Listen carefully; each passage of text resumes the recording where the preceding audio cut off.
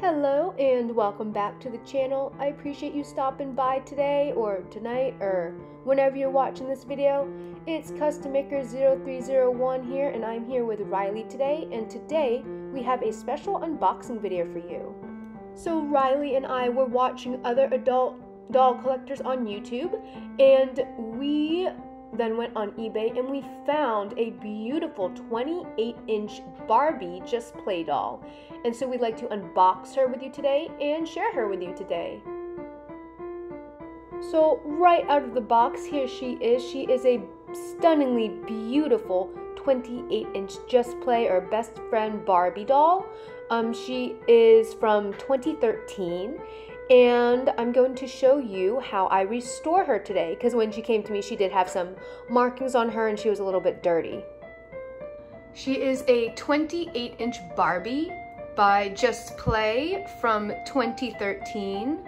I absolutely love the dress that she came in. I think that this dress is really pretty. I love the purples and the blues and the shimmeries of it although I'm probably gonna have to find a jacket for her because where we live, it's getting cold.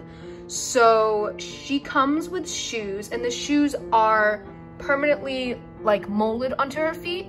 But you know what, that's fine by me because I, knowing myself, I will lose her shoes. So that's great that I don't have to worry about losing her shoes.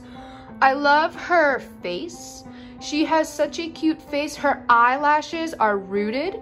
So that means that they're like if you zoom in, like you can see they're sticking out and I will go through it with like a toothbrush or something to make it a bit um, better looking. She's got some cute freckles. She's got nice brown eyes. I love her skin tone and I love her hair.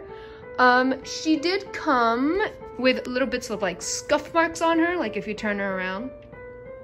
There are some scuff marks. So what I'm gonna do is take a Mr. Clean Magic Erase and give her a nice spa treatment.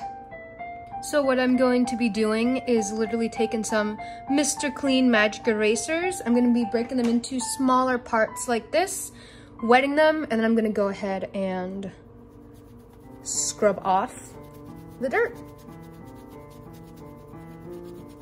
So here she is all fixed up, all cleaned up. I was able to get off most of the marks that were visible on her.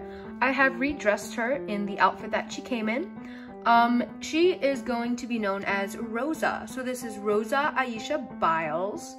And I am so happy to have her in my doll collection. So here she is. And um, I was able to get off that mark on the back. So that's awesome. So this is Rosa. Thank you so much for watching the video. Um, I hope that you all have a great day. Bye. See you in the next one.